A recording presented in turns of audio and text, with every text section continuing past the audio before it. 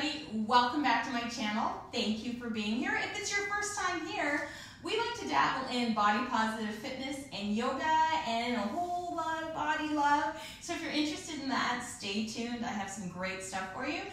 If you're a returning subscriber, thank you so much for coming back. I appreciate that you are here.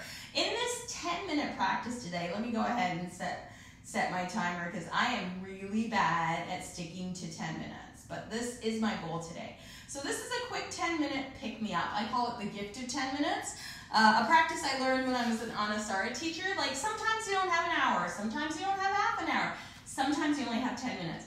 So this is a hands-free, knees-free practice that you can do in 10 minutes. So if you're at your office and you need to stand up or you can't be on the floor, this is a really great practice. I'm staying off my knees today because I hurt my knees uh, doing some uh, running. I fell down and hurt my knees and hurt my elbow. So I want to give um, my body a little bit of a break, but I still want to stretch out my hips. So we are going to start at the top of our mats. I'm going to grab a couple of blocks just for balance. I have positioned myself in a corner just because there'll be some balance stuff and my balance is a little bit wonky. So let's start our 10 minutes now by coming to the top of our mat.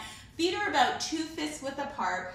Go ahead and curl the shoulder blades onto your back, palms turned forward.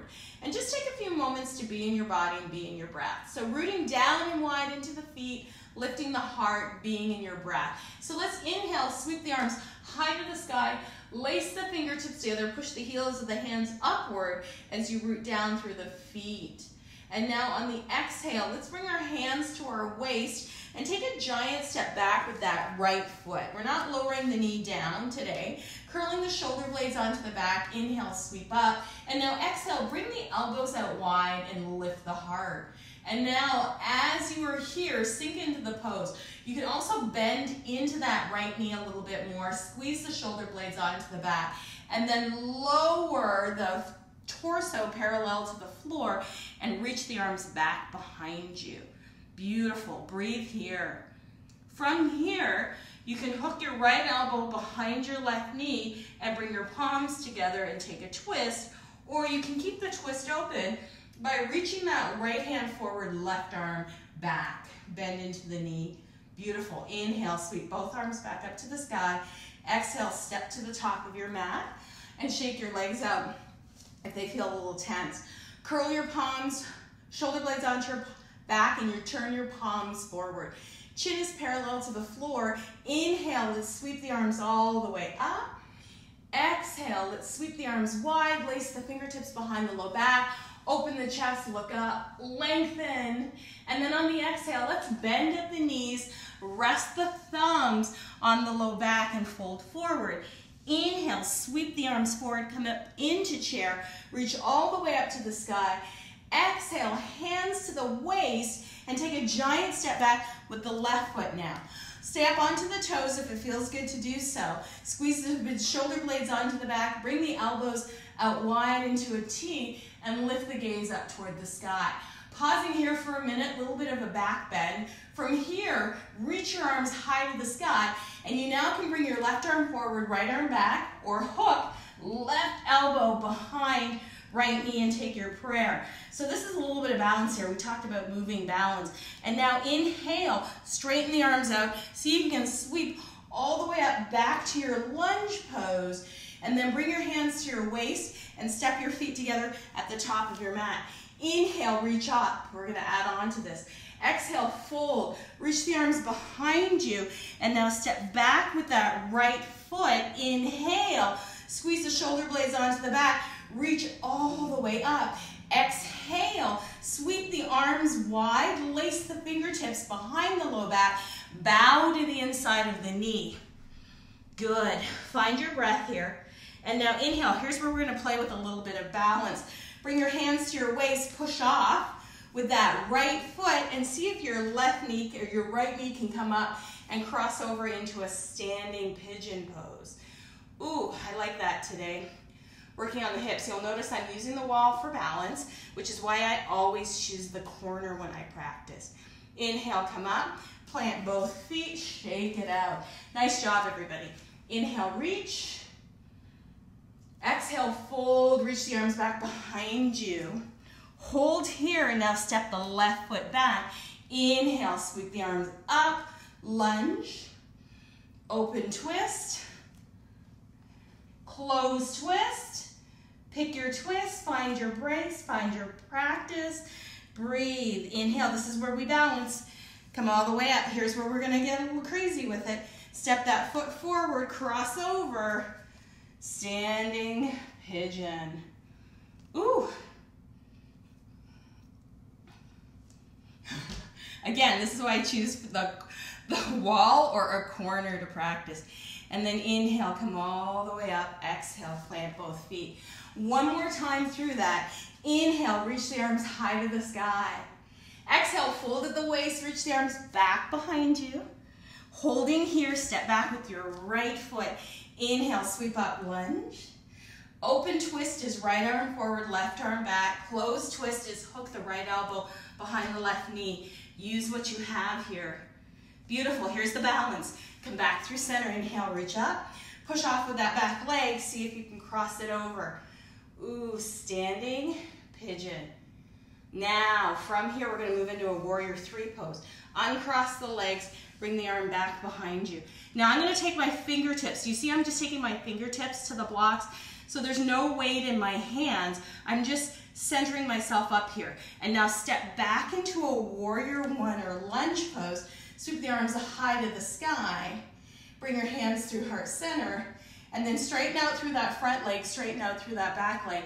Come into a pyramid pose. And once again, I'm not putting any weight into my hands. Your fingertips can touch or rest or you can reach back. No hand stuff, no pushing into the hands, pushing into the legs though. And step your feet together as you lift your heart toward the top of your mat. Shake everything out, take a deep breath in, turn the palms forward, take a few minutes. We're gonna do the second side. Inhale, sweep all the way up to the sky. Exhale, fold, reach the arms straight back behind you. Good. From here, step back with your left foot. Stay here. Inhale. Sweep the arms high to the sky. Open twist, close twist. Open twist, close twist. So find that twist for yourself. Here's where we're working the balance. Now we're gonna sweep the arms all the way up and push off with that back leg. I'll take a couple steps here and then cross over. Woo, breathe. From here, let's try coming into a warrior three pose. Remember, no weight in the hands, but you can use the blocks just to orient yourself. And then step back into a warrior one pose, arms up. Good, and bring your hands to your waist and step forward onto the top of your mat. Shake everything out and notice how you feel. Let's make our way to the center of our mat for a couple of balance poses here. So take a moment to step in the center of your mat. Root down through your right foot. I'm gonna use the wall behind me for my next pose. Curling the shoulder blades onto your back. Bring your heel towards your buttocks and reach your arms to the sky. So that's one option. You can lean forward and if you have the wall behind you, you can plant your foot on the wall, bend your knee, inhale, reach up into a version of dancer pose if it feels good. Good. And now, bringing my hands out wide, finding my balance, I'm gonna cross my left ankle over my right. Squeezing my thighs together, I'm gonna hook my right elbow underneath my left or bring my palms to my shoulders for my version of eagle. Good, now let's inhale, arms out wide. Reach up, step our feet together. Take a few moments to breathe. Whew. One more breath. Root down through that left foot. And now bring the right heel to the buttocks. If you want, if you have a wall behind you, you can use the wall behind you. Bring your palms together. Your version of dancer pose using the wall. Breathe. Ooh, this is where I lose my balance. Arms out wide to catch your balance. Breathe, and then cross right ankle over left. And now, left arm under right, or rest your hands on your shoulders. Squeeze your thighs together and sit back. Beautiful. Inhale, Bring your arms out wide, step your feet wide, shake everything out. Take a moment to breathe. And now let's come back to our Tadasana, our mountain pose. Feet about two fist width apart, turning the palms forward, squeezing the shoulder blades together, chin parallel to the floor. Notice your breath. Notice how you feel. From here, if you can descend to the floor without putting weight in your hands and your feet, go ahead. I'm to show you how I'm going to do it. Hands, or I should say hands or knees, not hands or feet. So I'm to bring my meditation cushion in closer. And what I'm going to do is I'm going to cross my bottom, my leg behind me, and I'm just going to tap my fingertips down to make my way to the floor. So now I'm in seated. I'm going to bring my hands to my chest hands at prayer in front of the heart. You can come down to the floor or remain standing if that makes more sense for you. Hmm. And then take a few minutes, moments to breathe, and that's our practice. If you want to lay down and take a quick shavasana, you can. If you want to sit for a couple of minutes of meditation, you can. If you want to take, if you have to get on with your day, feel free to get up and move on.